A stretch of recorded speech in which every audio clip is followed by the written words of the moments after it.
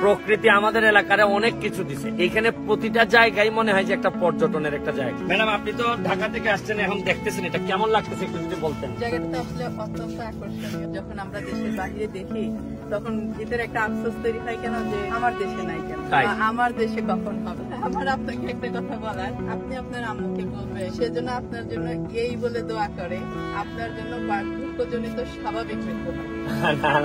শুরু করিতেছি মহান আল্লাহর নামে, যিনি পরম করুণাময় এবং অত্যন্ত দয়ালু। প্রকৃতি আমাদের এলাকারে অনেক কিছু দিছে। আমার কাছে ভাগ্যবান, আমি মনে করি যে এই কারণে যে আমি এমন এক এলাকার এমপি। এখানে প্রতিটা জায়গায় মনে হয় যে একটা পর্যটনের একটা জায়গা। আমি একটা জায়গায় আসছি, এটা হচ্ছে গিয়ে পানছড়ি, ইকো রিসোর্ট। কিন্তু ইকো রিসোর্ট টিসোর্ট এখনও কিছুই করা হয়নি এটা প্রায় আঠাইশ একর জায়গা। এটা পর্যটনের জন্য মানে পরিপূর্ণ ভাবে প্রস্তুত। আপনারা, আমি কি বলব যে যদি এই জায়গায় আস, এত নীরব। বিশেষ করে তাবু দিয়ে যদি আপনি থাকতে চান। মানে এত নীরব এবং চারদিকে প্রকৃতি। আপনি দেখেন যে প্রকৃতিটার একটু দেখাও ভালো করে। দেখাও এখানে সূর্যাস্তটা দেখাও। হ্যাঁ। আস্তে আস্তে দেখাও একটু আপনারা দেখেন এই যে এই সাইডটা দেখেন ওই যে এবং ওই পাশটাতেই কিন্তু আপনি আবার ওই পাশটাতেই দেখেন চা বাগান। চা বাগানের পাশে এইরকম একটা মনোরম পরিবেশে অনেক প্রতিদিন বিকালে এখানে পর্যটক আসেন। এখনও কিন্তু পর্যটনের কোনো কাজই শুরু হয় নাই। খালি জায়গা পড়ে আছে। খালি জায়গাতেই যে কি সম্ভাবনা। আমি এই ভিডিওর মাধ্যমে এমপি হিসাবে সরকারি অথবা প্রাইভেট যারা ইনভেস্ট করতে চান পর্যটন আমি আপনাদেরকে দাওয়াত দিব যে আসেন দেখে যান আমাদের এলাকায়। এটা হচ্ছে গিয়ে চুনারঘাট উপজেলার পাঁচ নাম্বার ইউনিয়ন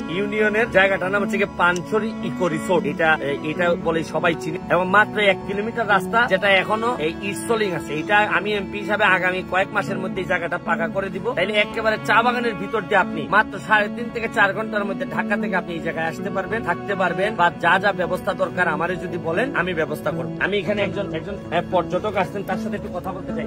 হ্যাঁ ম্যাডাম একটু আসেন, প্লিজ। হ্যাঁ হ্যাঁ ম্যাডাম আপনি তো ঢাকা থেকে আসছেন এখন দেখতেছেন এটা। কেমন লাগতেছে একটু যদি বলতেন? জায়গাটা আসলে অত্যন্ত আকর্ষণীয়। নিজের দেশ এমনিতেই মায়া বেশি।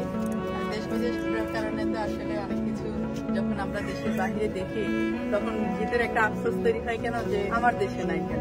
আমার দেশে কখন হবে? তো আমি পদ্মা সেতুর একটা কথা বলি যে দুই হাজার বারো সালে এটা ছিল প্রস্তাবনা। প্রস্তাবনাটা যখন পাশ হয় দুই হাজার বাইশ সালে ওইটা ছিল বাস্তবতা। বারো সালে যেটা ছিল প্রস্তাবনা বাইশে সেটা ছিল হচ্ছে বাস্তবতা। আপনি যে স্বপ্নটা দেখছেন এই চুনারুঘাট মাধ্যম নিয়ে বা এই এরিয়াতে এসেই যখন বলতেছিলেন যে এখানে অনেকগুলো তাবু দিয়ে খুব চমৎকার একটা রিসোর্টের মতো একটা ব্যবস্থাপনা।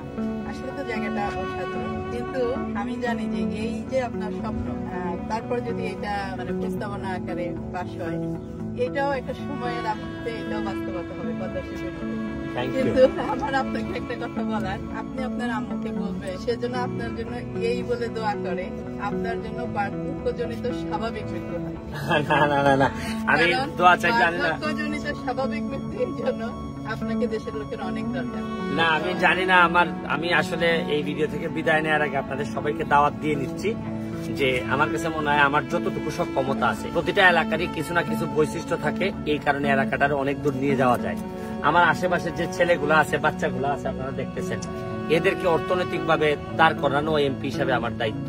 আমি যদি এখানে একটা পর্যটনের একটা ভালো কিছু করতে পারি এই এলাকার মানুষগুলো অর্থনৈতিক ভাবে সমৃদ্ধ হবে। এদের এই চার লাখ টাকা, পাঁচ লাখ টাকা খরচ করে সৌদি আরব যাওয়া লাগবে না, কুয়েত যাওয়া লাগবে না। নিজের দেশে বসেই আপনারা জানেন যে আমার এলাকায় ফেসবুক ব্যবহার করে এখন হাজার হাজার ডলার আমাদের ছেলে মেয়েরা ইনকাম করতেছে পর্যটন নগরী হলে কীভাবে এইখানকার অধিবাসীরা আর্থিকভাবে বেনিফিটেড হবে? ওনাদেরকে এই বিষয়ে না, এখনও পুরাপুরি আসলে এলাকার মানুষ এখনও বুঝে উঠতে পারে নাই। অল্প অল্প করে বুঝে উঠতে পারবে। দেখেন, কক্সবাজার শুধু সমুদ্র থাকার কারণে। এই এলাকার মানুষ অর্থনৈতিক ভাবে অনেক উপরে চলে গেছে। এইটা একটা স্বাভাবিক। এখানেও যদি আপনি পর্যটক নিয়ে আসতে পারি, দেখবেন এই এলাকার মানুষের ভাগ্য বদলাই দিতে পারব। আমি জন্মের পরে আমার যে এলাকাটা পাইছিলাম, অথবা এমপি হিসাবে শপথ নেওয়ার সময় যে এলাকা পাইছিলাম, আমি মৃত্যুর আগে এর চেয়ে ভালো একটা এলাকা রেখে যেতে চাই। শুধু এলাকা না, আমার চেয়ে আরও যোগ্যতা সম্পন্ন মানুষ আমি এলাকায় রেখে যেতে চাই। তাতে আমার মৃত্যু অনেক বেশি শান্তিপূর্ণ হবে, সার্থক হবে। আজকের মতো বিদায় নিচ্ছি। পানছড়ি থেকে, পানছড়ি ইকো রিসোর্টের জায়গা থেকে। ভালো থাকবেন, সুস্থ থাকবেন।